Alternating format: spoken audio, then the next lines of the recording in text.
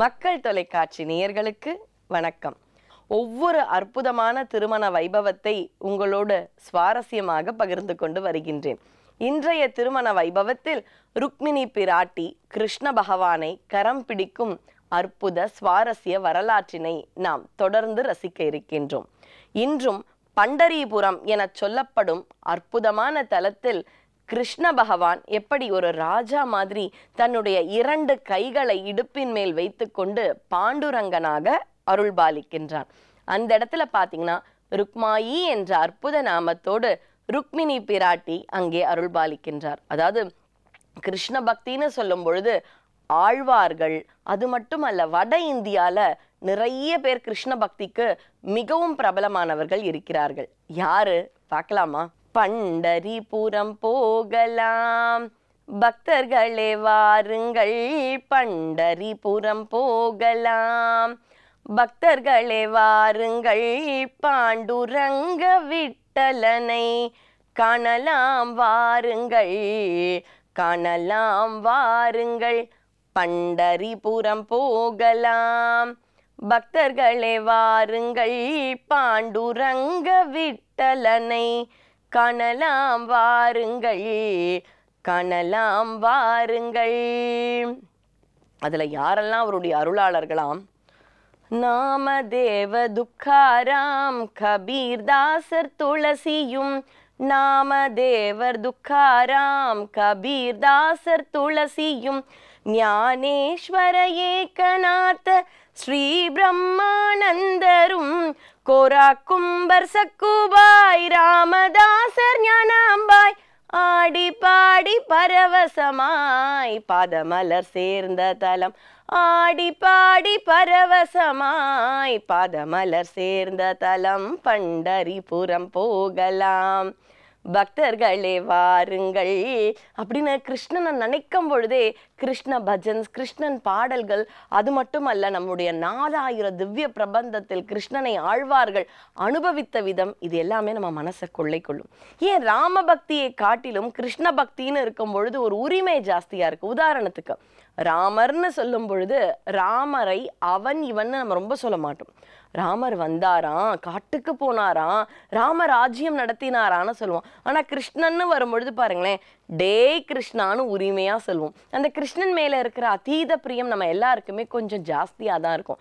எதனால் அப்படின்னு பார்த்தீங்கன்னா இது ஆழ்வார்களுடைய அனுபவத்தை வைத்து வைணவ அருளாளர்கள் சொன்ன ஒரு வியாக்கியானத்தை தான் அடியேன்னு சொல்கிறேன் அதாவது பாருங்கள் நம்ம யார் வீட்டுக்கோ போகிறோம் போன உடனே அவங்க சொல்கிறாங்க ஓ நீங்கள் தேடிட்டு வந்தீங்க இல்லையா? அவர் ஒரு ஆறு மாதத்துக்கு முன்னாடியே வெளிநாட்டுக்கு போயிட்டாரு. ஓ உங்களுக்கு தெரியாமல் வந்துட்டீங்களான்னு கேட்கும் பொழுது நம்ம என்ன சொல்லுவோம் ஓ ஆறு மாதம் ஆயிடுச்சு அவர் போய். எங்களுக்கு தெரியாது வந்துட்டோம். அப்படின்னு கொஞ்சம் கவலை இருக்கத்தான் செய்யும். ஆனால் பெருசாக இருக்காது. ஏன்னா அவர் போய் ஆறு மாதம் வெளிநாட்டுக்கு போய் ஆயிடுச்சு. நமக்கு இப்போ தான் தெரியுது. அதே பாருங்க நம்ம யாரையோ முக்கியமா பார்க்கணும்னு அவங்க இருக்காங்களா இல்லையான்னு நம்ம சரி பார்க்காம அவங்க வீட்டுக்கு போயிட்டோம். அப்ப யாராவது அவங்க வீட்டில் இருக்கிறவங்க சொல்லுவாங்க ரெண்டு நிமிஷம் முன்னாடி வந்தா பார்த்துருக்கலாமே.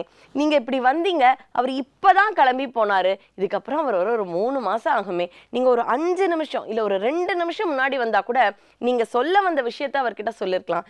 இவ்வளவு ஒரு நிமிஷ நேரத்துல அவரை தவற விட்டீங்களேன்னு சொல்லும் பொழுது நம்ம மனசு எவ்வளவு வருத்தப்படும். ச்சே ஒரு அஞ்சு நிமிஷம் முன்னாடி வந்திருந்தா நம்ம அவரை பார்த்து நம்ம சொல்ல வந்த அந்த கருத்தை சொல்லியிருக்கலாம்ல இல்லை எதுக்கு பார்க்க வந்தோமோ அந்த விஷயத்த கேட்டிருக்கலாம்ல. அப்படின்னு நம்ம மனசு எவ்வளவு பதை பதைக்குமோ அது மாதிரி இருந்ததாம் ஆழ்வார்களுக்கு. ஏன் அப்படின்னு பார்த்தீங்கன்னா சத்யுகம் அப்படின்ற அந்த யுகத்தில் மத்ஸ்ய அவதாரம் கூர்மா அவதாரம் வராக அவதாரம் நரசிம்ம அவதாரம் எடுத்தாராம் நாராயணன். அது அவங்களுக்கு ரொம்ப இல்லையா? ஏன்னா எப்போவோ நடந்தது சத்யுகம்.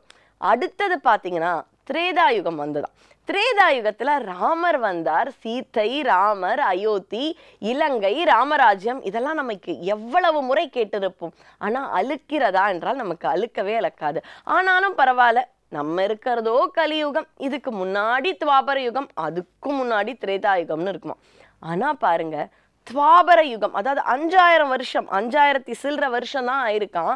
நம்ம துவாபர யுகம் முடிந்து அப்போ அஞ்சாயிரம் வருஷம் அதாவது போன யுகம் கலியுகத்துக்கு பிறக்காம அந்த துவாபர யுகம் எண்ட் அப்படின்னு சொல்லுவாங்கல்ல அந்த துவாபர யுகத்தின் நிறைவு பகுதி வரை கிருஷ்ணன் இருந்திருக்காருன்னும் பொழுது அப்போ நம்ம ஒரு அஞ்சாயிரம் வருஷத்துக்கு முன்னாடி அதாவது போன யுகம் அஞ்சாயிரம் வருஷம்னு சொல்லும் பொழுது பெருசாக தெரியுது.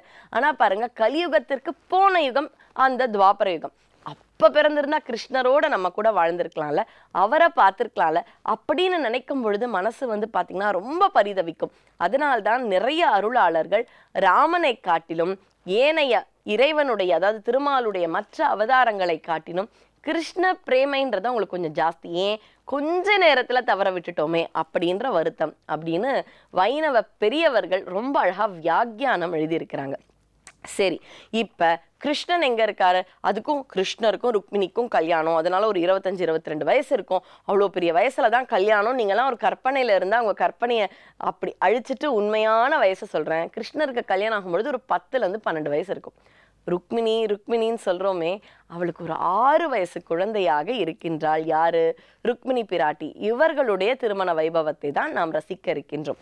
துவாரகையில் இருக்கின்றார். அதாவது கம்சவதம் எல்லாம் முடிந்து துவாரகையில் இருக்கும் கிருஷ்ணனும் விதர்ப்ப நாட்டின் இளவரசியாம் ருக்மிணிக்கும் இப்ப திருமணம். பீஷ்மகா என்பது ருக்மிணியின் தந்தையின் பெயர். ஏன்னா நம்ம எந்த ஒரு வரலாற்றினை படிக்கும் பொழுதும் அதை பற்றிய அரிய செய்திகள் அந்த கதாபாத்திரங்கள் இதையெல்லாம் நம்ம தெரிஞ்சுக்கணும். நாம் மட்டும் தெரிந்து கொண்டோம் என்றால் அது மட்டும் போதாது. நம்முடைய அற்புதமான ஆன்மீக ராமாயண மகாபாரத இதிகாசங்களை நம்முடைய அடுத்த தலைமுறையினருக்கும் சொல்ல வேண்டிய கடமை நம்ம எல்லாருக்குமே இருக்கு. சரி இந்த ருக்மணியினுடைய திருமணம் எல்லாம் மகாபாரதத்தில் வருகின்றதா என்றால் இதை பத்தி ரொம்ப அழகா எங்கே சொல்லப்படுகின்றது அதையும் சொல்வதற்கு அடியேன் கடமைப்பட்டிருக்கின்றேன். ஸ்ரீமத் பாகவதம் அப்படின்னு சொல்லக்கூடிய ஒரு அற்புதமான நூலில் தான் இது சொல்லப்பட்டிருக்கு. அதாவது வியாசருக்கு மகாபாரதம்ன்ற பெரிய காவியம் அந்த இதிகாசத்தை எழுதியும் பார்த்தீங்கன்னா அவர் மனசு வந்து சாந்தமே அடையலையா. எவ்வளோ பெரிய எதிகாசம்? இன்னைக்கும் பாருங்க மகாபாரதம் கேட்கும் பொழுது நமக்கு ஒரு சுவாரஸ்யம் இருக்கும்.